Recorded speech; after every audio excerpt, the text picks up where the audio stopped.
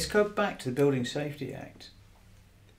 Gateway two. Yeah, You, they, you won't be able to. and that's yeah exactly. You won't be able to make those changes unless you can justify it and record why you've changed it Yeah. and the evidence. So that's the golden thread. Yeah.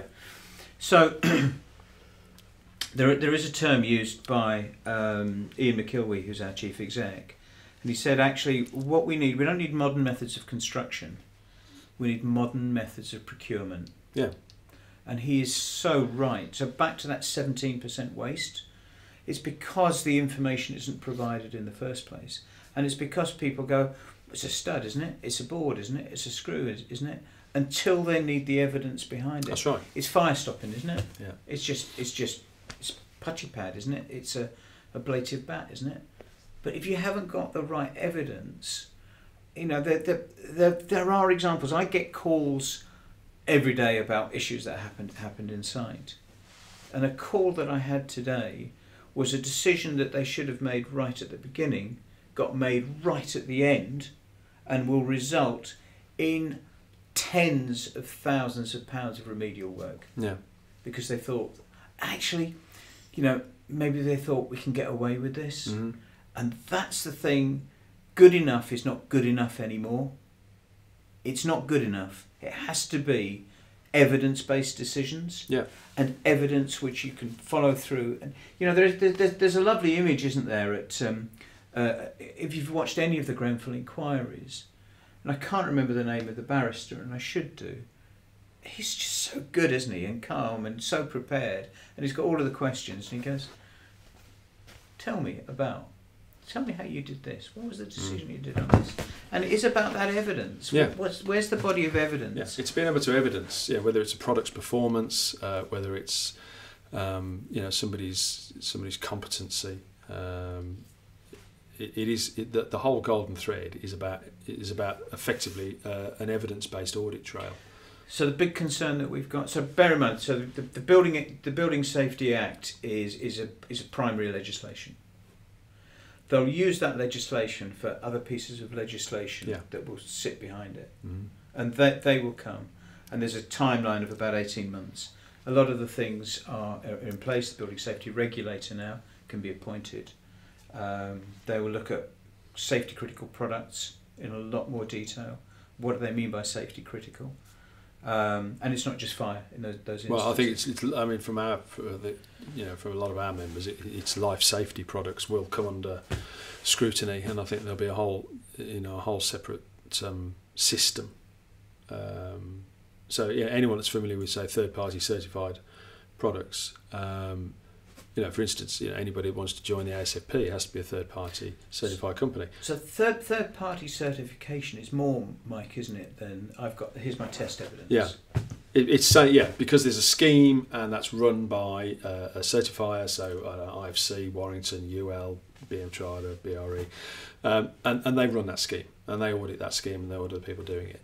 And and and until I think until Grenfell, I think third party certification was probably seen as a as, as a panacea. Hmm. That you know got third party certification done, and it goes back to this thing that you know certain product standards have a standard for the product spec and some product standards and I'm familiar I, the reason why I'm, I'm sort of familiar with this is that the fire industry has one is they have a second part to the standard which is actually about the application and the design and the installation and the interfacing and fault finding and that Yeah. and service and maintenance but a lot of products don't have that. A lot of products just says a perform. It has to perform to this. It has to perform 60 minutes, 30 Yeah. minutes, minutes integrity. Maybe it has to have EI. Maybe some cases EW. I mean, who's who's heard who's heard of the classification EW? Radiant mitigate radiance, the, the mitigation of energy at a distance from the non-fire site and face of the, the element. Yeah. Wow, you know, there's something to talk about, and also smoke control if it's applicable. But um, quite often people don't. Um, people don't sort of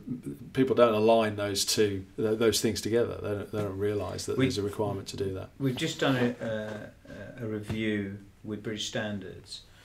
There's a workmanship standard for dry lining, uh, BS 8000 Part 8. Yes. It was written in 94, I think, and uh, we are going through the final stages of that as a review. And one of the things that the new title will be about the di- design and construction of dry lining. So we've tried to encompass as many things in this as we can um, to ensure that it is installed uh, as, as well. So it's not just about the test evidence, but the installation. I've got one concern, probably my biggest concern around the Building Safety Act at the moment, is that they've also introduced, no, they haven't introduced because it was always there, the Defective Premises Act. Yes. I think that goes back to the nineties as well. Yeah, and basically, yeah. it says if you've if, if you've got a, a residential building and something is wrong in it, uh, you've got six years Mm. to, to, to raise that. That's where the sort of six year liability period That's we right. talk Yeah. about. don't? Yeah. And uh, then then you can go back to the developers and bring that back. This act, in certain instances, will retrospectively go back fifteen and thirty years. Thirty years. I think Mike, uh, Michael Gove, the Right Honourable Right, honourable. yeah. Michael Gove, did suggest that thirty years would be appropriate in some cases. What were you doing 30 years ago, mate? Me, um, I lived in London, and I sang for my supper. Did you? Yes. That's another story. It is a very long story and not one we could probably broadcast most So, of it. so, so the issue is when you, when you start to look about records and what people are keeping of records, yeah, how on earth are we going to be able to, to, to do that? I've, I, I, I, we're amongst friends, aren't we, Mike? of course. All of Okay. our all of our viewers are friends. Yeah, Here's my concern. except the ones that don't like us, of course. Here's my concern. so my concern is the uh, uh, the in, in insurance company we're, we're here with it, the PPI. Um, I, I, I, I, drove a diesel car. I had a Mercedes car yeah, at one stage, and people you know saying, "You drive a Mercedes car? Do you realise you know that you?" Well, it was fine. It worked, you know. yeah, But do you realise you could get compensation oh, for yeah, this? yeah. We had it with cladding, the Yep. EWI forms. We get it to an extent with uh, with fire doors and fire door inspections, where people are going into these jobs. Show me a job where you won't find there is something not quite right. Okay, there is there are, there is a period Mm. where something if it's clearly wrong, and we've all seen examples of that. That's wrong. Mm. But there are also instances we think that's going to come off the back of this, where we're going to have a plethora of experts going into jobs and finding problems Of course. huge concern we've got for the industry. That's not to say that what's installed should not be right. That has to be the case. Fire safety is critical on this, but we are concerned that this is going to hit hit the industry over the next the next few Yeah, years. and the question is raised. You know, the, uh, how how what or how are these people qualified to make these judgments on back on, to competency. It's back to competency and evidence in competency. Um, you know, I think, uh, and that is, I think that's one of the most important things. It's it's going to be the the the not the competency of the product, but the performance of the product, and and certainly, certainly that is something that needs to be really dealt with, in the sense that in you know your British British and European standards you've got to you've got to know how to read a, a fire test report if it's not under a third party certified scheme. And the beauty of third party certified schemes, of course, is, is your Warrington or your IFC take those three three folders of all your test reports. And they align it to the standard you've they've tested it to, and if they're happy that you are you've passed and you know in accordance with all the requirements, they issue you one certificate, one piece of paper that says in relation to this product, in relation to this standard and these tests, we, Warrington IFC, underwrite to say that they And know, we there's, certify them that they're passed. There's factory con- control processes as part of that, Yeah. not there? So it's not just a one-off. It's not just a one-off. No, it's not a one off thing. So we can see the benefit in, in something like that. The, the, the, the biggest issue that, that there is is the interface, the human interface between the material and, and how Yeah. and uh, it, how do we install it? Yeah. There aren't currently third party installer schemes for all of the products that No. we've got out there. No, well, there's not third party product schemes for all of the products, No. and there's less third party installer schemes. And it goes back to that thing that we spoke about. It's the interfacing of the product or the system, dependent on the requirements that it's, it's been asked to achieve. So if we look at the risk, if we look at the granularity that there is at the moment, and, and, and people are, um, you know, they, they want to they want to feel comfortable with the decisions they're making, and you look at what government is doing Yeah, and the way that government is doing. If we want to know whether there's a direction of travel, I, th- I think and I think we should be prepared for it, is third party certification. Mm. Third party certification uh, tied back to the installers, approved installer schemes, proper training schemes. You know, the, the NVQs that we have quite often are very generic. They are, yeah. And when you Yeah. get into that into that granularity, uh, I think it's important that you have you have that there. So I think that's going to be important. The way in which we demonstrate that people are competent, I think, is important as well. So currently we've got the CSCS cards in their various guises. They don't necessarily show the level of training and everything goes behind it. No. That that's something that, that I know we're working on and trying to trying to I think CSCS cards were created for the right reasons. To say that somebody is, is you know has a level of knowledge in terms of their environment on a building site. yes You know, don't fall down a hole. Don't trip over a wire. Yeah. Don't lean against a balustrade that's not there. Um, and then you know you- they added you know, things like you know, the um, first aid and health and safety and things, and they work in that principle. But I think it would be very difficult for CSCS cards to say that this person is competent in these 27 products and how you interface them and the knowledge of the of that system or the knowledge of this system, um, because there just isn't going to be the capacity. so we, we need the capacity on a card. yeah. That if you're trading manufacturers one product, that that's that's shown. and that's actually where the slack if you think about the, the, the, the competency by virtue of products it's the manufacturers the, that have picked up the slack of that you know uh, people like um, people like Rockwool or other manufacturers will train installers on their product and their systems Yeah. now what's the motivation for doing that well without taking anything away from what they're doing it Yeah. not necessarily competency it's a commercial decision because they want those installers to choose their product. You know, it's the reason why you advertise uh, Kellogg's cornflakes on a Saturday morning TV program because you want all the kids to go and ask their moms for Kellogg's It's, cornflakes. it's, it's also about reputational risk. It is about. I agree, but th- because there is not a knowledge, there is not a competency chain to say that you know I've attended a CPD at this company or attended a two-day training at that company. It goes back to that. It, it's not. It's not evidence based. no, so then you then you and need there's the no mechanism to support that training. Yeah, it's the experience. Yeah, It's putting all of that information in, in, in, in one place. Raising the bar started the, this process. There's another series of reports from the working groups, the 12 working groups, uh, that will, will be coming out shortly. But remember as well, Mike, the and, and you mentioned to me this before we, we you know before we sat down. Um, working group 13 became the working group that developed the uh, code for construction product information. Yes, that's that they're, they're going through trials at the moment with that. And it's not just about having evidence that your product is tested to that but actually that you've got a competent workforce Yeah. from marketing through to sales that backs that up. I, I, there are some really good things that have come out of this we just we just need to see them coming and we, we need to see them sort of as they come through. There's there's um there's a quote I've got here um, Mike Andy Andy Webster. I can't take credit for it. Andy Webster came up with it but I, I, I use it at every opportunity. Because they say it's about culture change. Culture change they say is always the barrier. Yeah. I've always done it this way. Why Yeah. should I change? Da, da, da, da. And then you, they, they start to talk about early adopters groups and, and, and how that works and there are various curves that show you need the early adopters for the other people to go okay so I'm, I'm an early adopter but he's done it first. I want somebody to do it first. What Andy said is no one will agree to change until the risk of staying the same is greater than the risk of changing. Yeah. so no one will, will agree to change until the risk of staying the same is greater than the risk of changing we are at that point the Building Safety Act the, the risk is you do it wrong, you're going to jail now.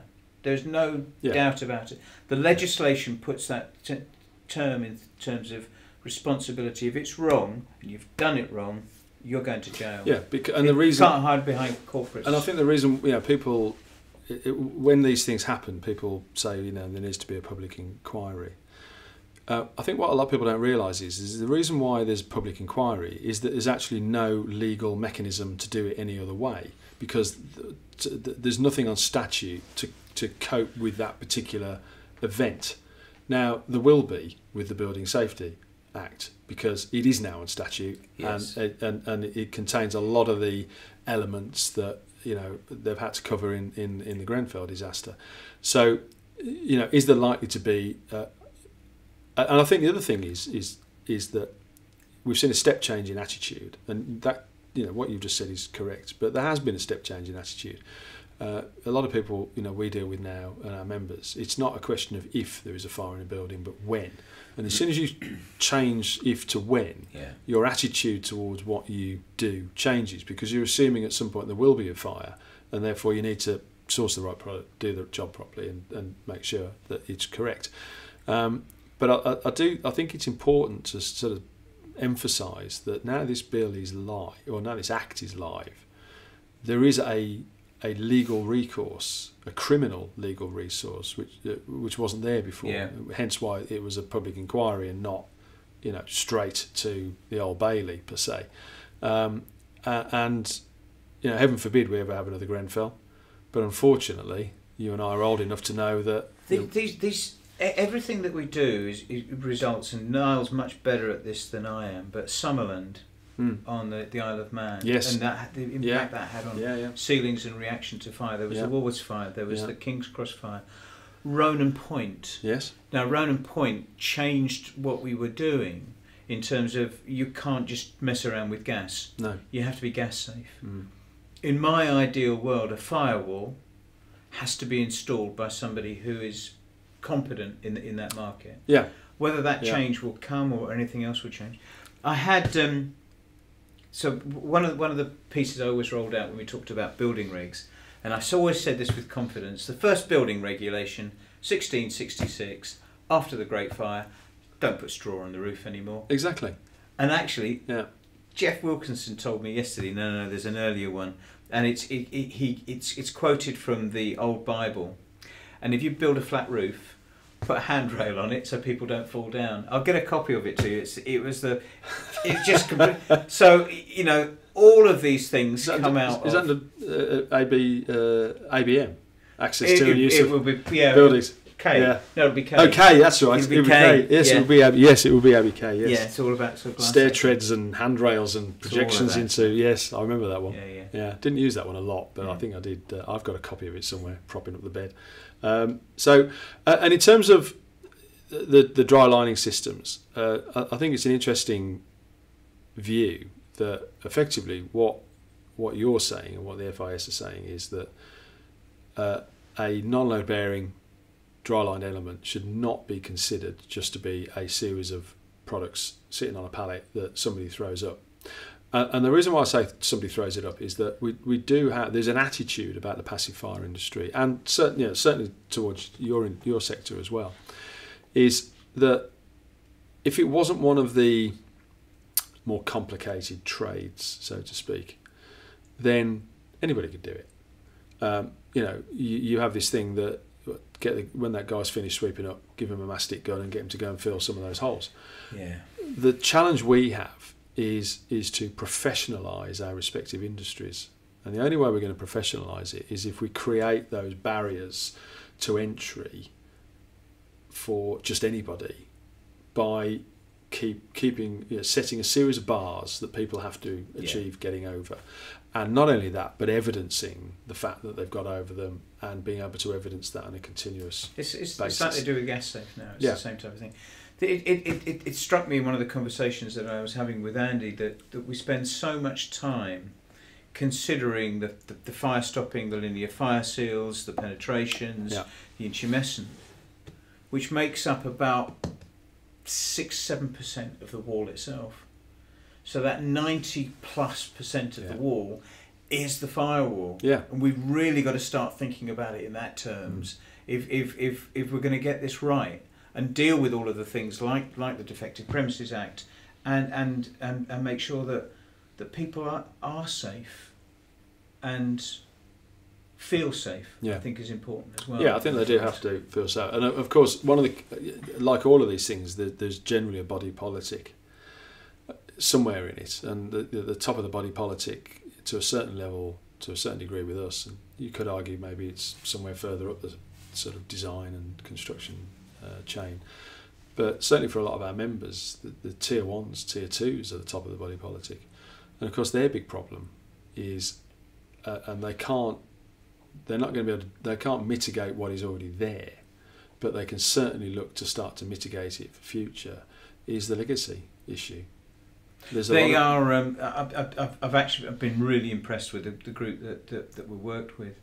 They are bringing in subject matter experts. Yeah. They're bringing them in in, in house. They're, they're they're they're not relying on.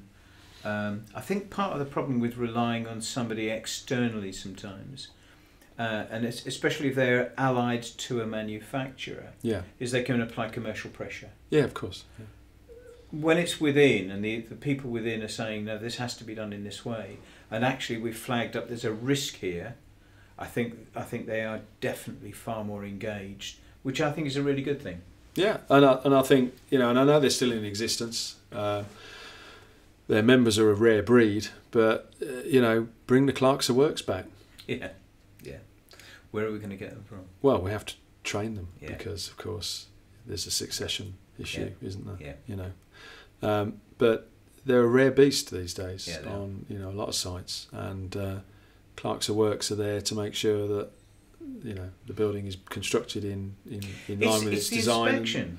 and, and the inspection of it. Yeah, I, I saw a tweet this morning. Um, and it was it was a whole series of buildings, apartments, I think, and they had all of these, they were like post-it notes, but they weren't post-it notes. Somebody had screwed these plywood pieces to say this is wrong, this is this is wrong, this is wrong. But how's it got to that stage? Mm. How did it get to the stage where it was only inspected after the fact? Yeah. Where actually, you know, you need to inspect all of the processes all yeah. of the way through. Yeah. You know, sometimes you can't you can't inspect dry lining when it's finished because you've no. got no idea how it's been built and whether the, the studs are on the right centres, the right studs have been used, the right flat strappers have been used, how you've dealt with with with uh, uh, deflection heads and mouse holes and, and everything else It has to be it has to be that process. There has to be. so I was surprised by that yesterday. So yes, clerk of works, people that really understand it. The other, the other thing that um, which is important is benchmarking. Yeah. So benchmarking both in terms of, of, of having a, a, finished piece that shows the quality, mm. but you know we, we, we were talking about builders work holes earlier on.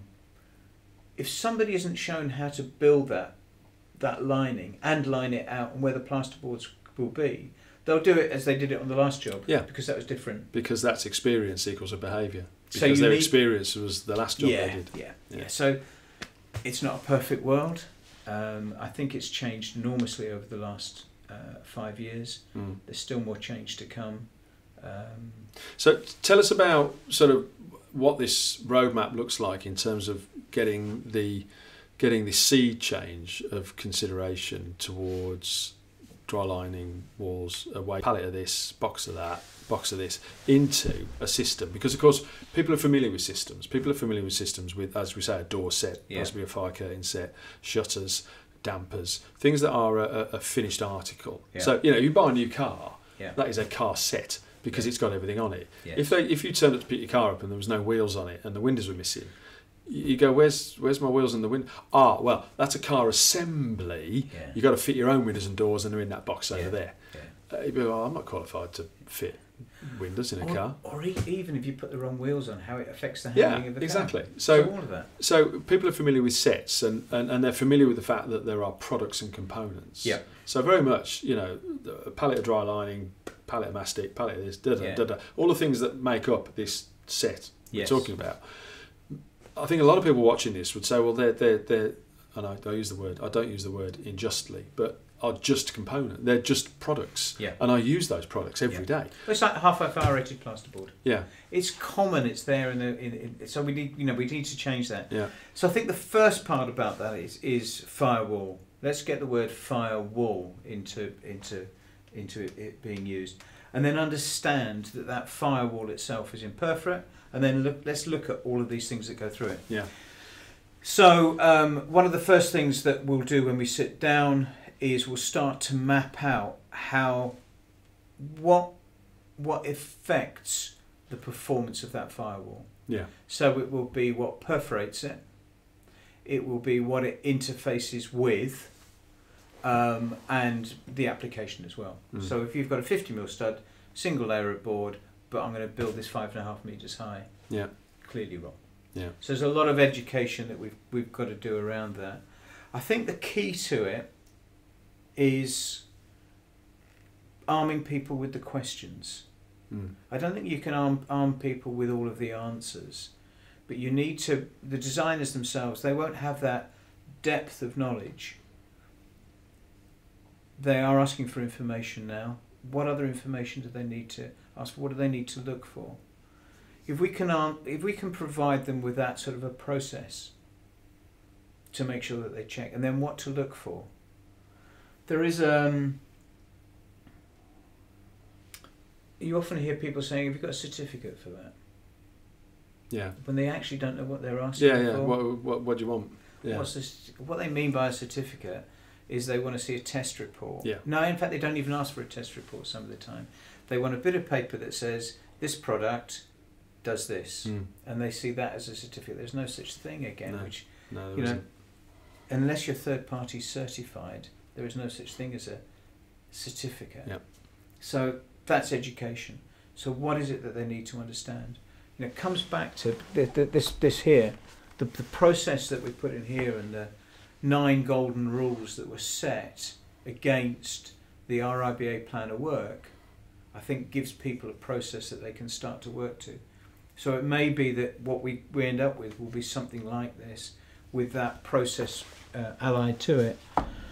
I don't know. At the moment, I've got questions. Yeah. I'm not the only one with questions. Of course. Yeah. It's and and that's where you get the collective. When you get a group of like-minded people together, all pointing in the same way, that's when you get stuff done. So um, if you can invite me back in in about a year's time, I'll be delighted to tell you how we Well, well, uh, uh, Joe Cilia, you're, you're welcome on the ASFP sofa anytime. Thank you. Um, It's uh, nice. Anytime you like. Um, uh, we do have a the, the sofa is becoming in, in demand quite a lot as the popularity of these uh, these these go up, and uh, we, we we do have a varied. Um, uh, level of guests really we had uh, a lady in uh, the other day from uh, Women into Construction Yeah. uh, and we were talking to her about how we can help our members improve their inclusion and retention and closing the gender pay gap. Uh, we've had a distributor, an ASFP member distributor in recently. Uh, we did a, a, podcast on uh, uh, a gentleman that is one of our members that comes from the fire-rated glazing sector, which is a sector that we're you know engaging with more because fire is becoming more complicated. yeah.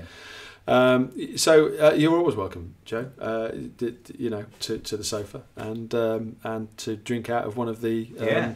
much sought after ASFP TV mugs, which we were making sure Joe doesn't take home him, Yeah, yeah. uh, when he goes because uh, they uh, they are. Uh, I think we've only got twelve at the moment. Uh, we may start putting them on the website for sale uh, if if the popularity if of them see, grows. if, if you get one on eBay, Yeah, we'll you- we'll start to see, we'll sell them for a pound, and we'll start seeing them on eBay for a tenner. Uh, it's uh, it's the way of the world. Um, so, is there anything else before we uh, wrap up? Is there anything else you uh, want to uh, tell people? Is there- is there anything else coming up from the FIS? Is there any other guidance documents? Is there any other events so for you? there, there, there is, Mike. The um, we've got this series of specifiers guides. Mm. um, which have again you know the same approach that you do you get the, the members along to, to, to work these th- things through so we've got one on ceilings we've got one on dry lining one on partitioning which is different that includes Is partitioning the new one? Is that the latest one? partitioning is the one that came out yeah, Yeah. Um, last last week um, uh, because that's my background as well I thought uh, this will be easy Yeah, and then actually you, you, you get into the granularity of it as well. You realise, Yeah. because specification now it's it's not just about writing the uh, a, a specification. It's actually understanding the needs. So sustainability is a big part of it Yeah. now. Having EPDs, understanding where the products come, what's the embodied carbon. With partitioning, the big, the big change that's happening in this market is flexibility. mm. So we've all come back from COVID and people are wanting more out of their space.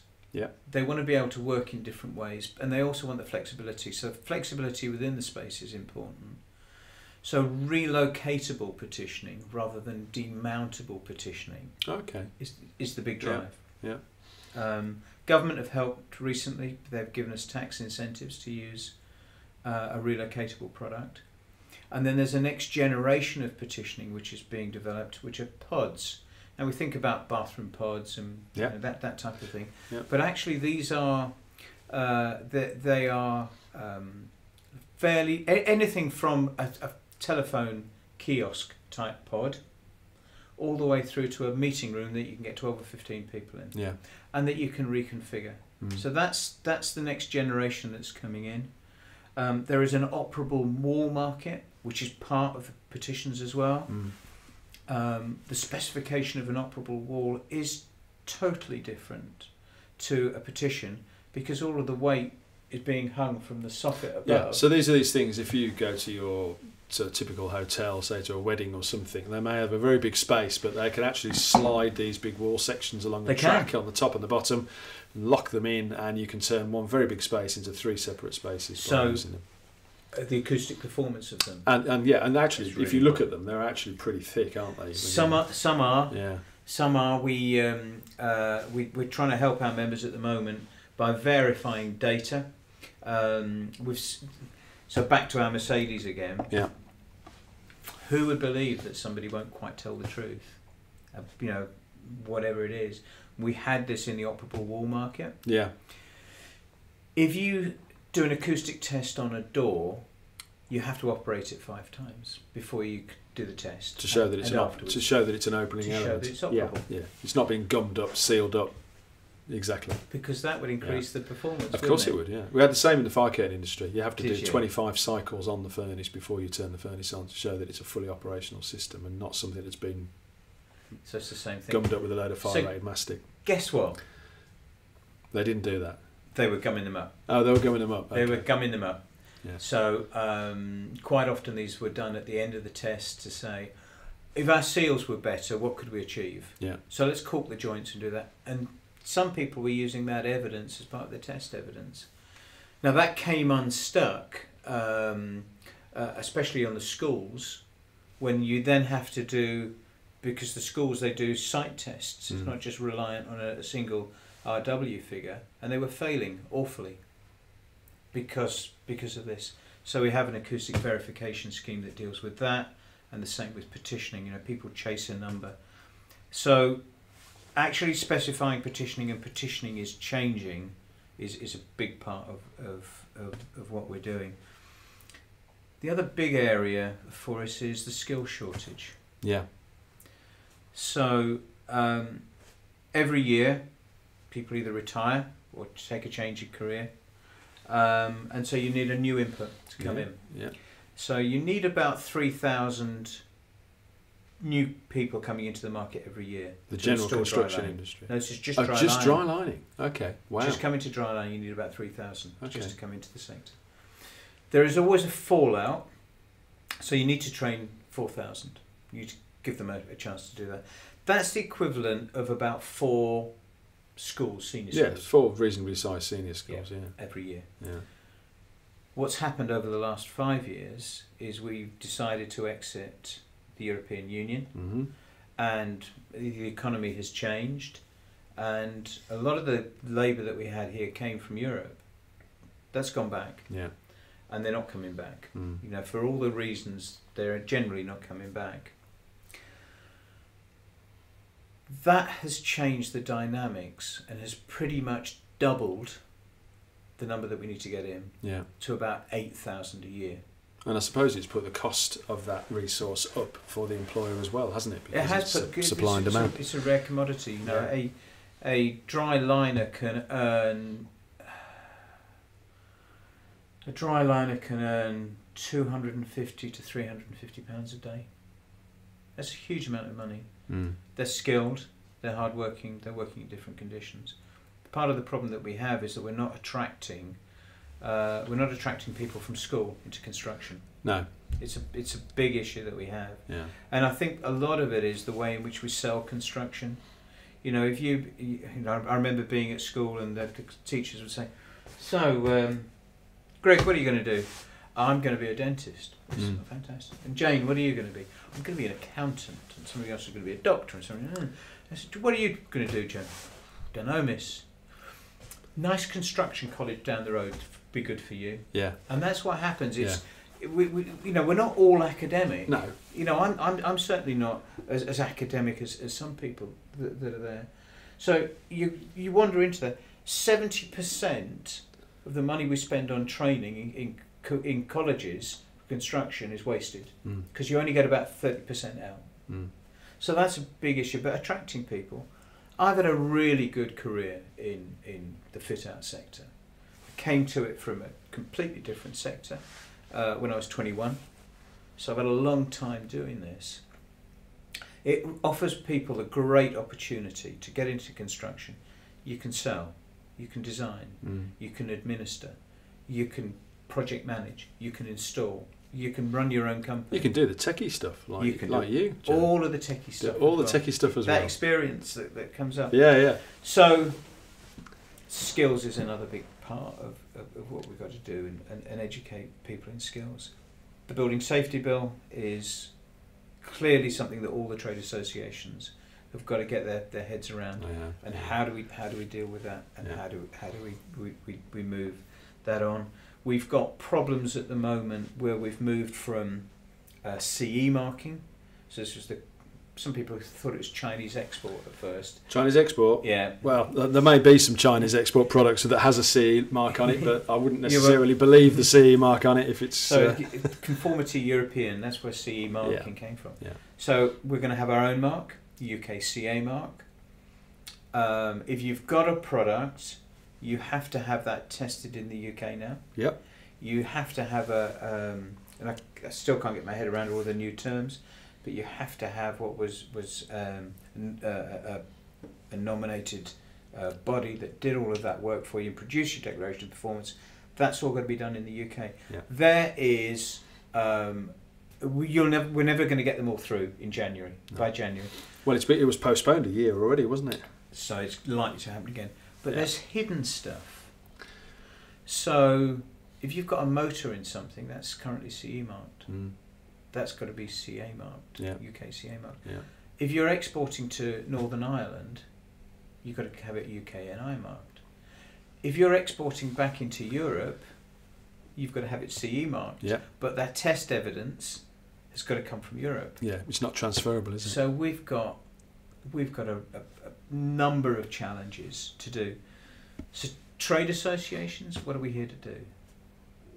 I think the trade associations 30 years ago were they did a couple of golf and a couple of award ceremonies and gave you a badge. I think we've moved miles from that now. yeah. Yeah. Very much We so. are we Yeah. spend time looking at the horizon, trying to work out where the light's coming Mm. trying to understand where those issues are that are coming. Where the eyes and ears, the contractors these days, the majority of them are SMEs and micros. The majority of the people. So you look at the Shard or anything else that's been built, they will be SMEs and micros. Their job quite often when they get into the into office on Mondays to get to Friday. Yeah. I've got to get these materials on site. I've got to get that estimate out. I've got to get these bills out. I've got to chase that invoice. I've got to recruit somebody for that. It's Friday. And they do it all again on Monday. Yeah. So our, our, our role is, is, is, is to be their eyes and ears, to understand where these problems are and what can we do collectively to, to, to come in. So actually sitting here on the ASFP sofa, which is very comfortable, is a great opportunity actually to show the trade associations working together for, for, the, for the benefit of, of the whole of the, the industry, but particularly our, our members, is, is I think this is a great example of, of us doing that. Mm, absolutely, yeah, yeah. And a great example of actually telling people about what's going on is is ASFP TV because um, one of the things that we were we found out when we first started looking at this was you know a lot of a lot of members of trade associations. I mean, it's different varying levels of people why people join. Some people join for the badge and don't really engage much. Some people in, you know engage a little, and some people you know get involved because they want to you know influence something in a in a more positive Yeah. uh, way. Um, but the one thing, the sort of feedback that we got was that you know you do great things ASFP, but we never hear about it. So we resolve that by actually telling them, you know, if somebody, if a pin drops now, uh, everybody hears about it, uh, and I think that's that in itself is is is the right thing to do because of course you know what one of the reasons why things like Grenfell happen is is that there was a lack of communication and a lack of understanding and a lack of engagement. And I think the more you engage and the more you communicate, the more people become aware. And if people are aware, they're likely to make different decisions. It's a hard, it's a hard, it's a hard thing to do, isn't it? Yeah. Because we. Well, no, actually, me and Max find it quite easy. What we do is we sit here and invite people to come along and talk to us, and uh, and this is generally the net result. So uh, no, no, we find it we find it dead easy. no, I mean actually it is hard because uh, um, you, you've got to make sure the subject matters you know, right and it's relevant. And uh, the hardest part, I suppose, is is um, is growing that engagement. Yeah. And we've been very lucky so far that the numbers are the numbers keep growing. Uh, It, it is about that engagement, isn't it? yeah. You know, one- of the things that I, that I, I say to people when they join and, and when I talk is engage with us. The more you engage, the more you'll find out. You'll get more. I, I think, and that's a message to anybody who's thinking about joining a trade association. You get out what you put in. If, Absolutely. if you join just to have a badge, a sticker on the back door of your van, yeah. Which you know maybe for the right reasons. You know, I know it's been a while since I've gone through a pre-start bundle with a main contractor in a Portakabin, but you know the the list of things you needed to take into that pre-start meeting just got bigger and bigger and bigger, and, and the number of stickers on the back of your van got more Yeah. and more and more.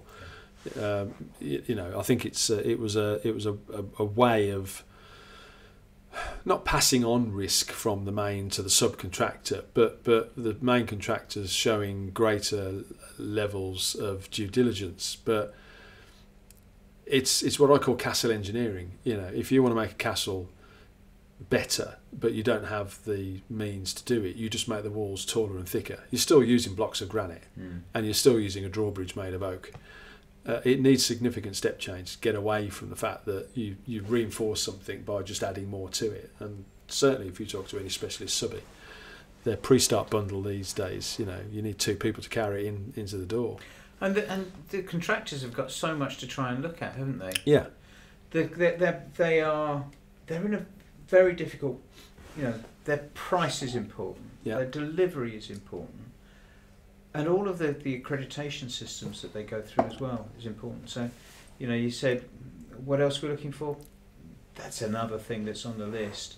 Is we, we, we have a vetting process with our members, our contractors, and we're looking that at that again to to make it better for them, and uh, at the same time something which is tangible to, to offer to the main contractors too. Yeah. Well, it's been lovely seeing you, Joe.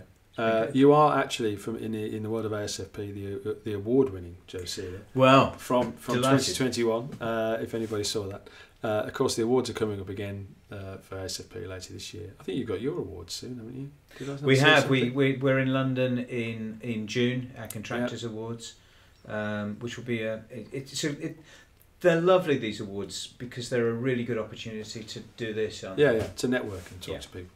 So, uh, so the award-winning Joe Cilia, uh, Mhm. thank you for your time. Uh, it's, it was, uh, I- if anybody's interested, by the way, in engaging on this particular subject, so effectively dry lining wall being now considered or should be considered as a system, something similar to a door set, uh, fire curtain or shutter, uh, then contact us, or, or you can actually contact the, the, the FIS. Uh, they're in Olton in Solihull, uh, and uh, which is not a million miles away from where we're sitting now. Uh, so you can contact them and they'll they'll engage with you Mm. on that basis. But clearly, step change is coming. Uh, there's a whole reason why uh, it is coming. Uh, for those of you who keep an eye on the news, you'll know why it's coming. Uh, but this is certainly an interesting uh, conversation point um, because it is a step change away from considering a, a, a, a collective of um, individual products actually um, turning themselves, well, not turning themselves, but becoming a system and being recognised and considered as such. Uh, I'm, I'm sure this is not the first or the last of these particular considerations on these types of uh, problems. Um, so, Joe, thanks very much. Thank nice you. to see you. And uh, if anybody would ever want to get in touch, and Max, you'll have to fit it in, uh, drop us a note, and we'll see you soon. Thank you very much.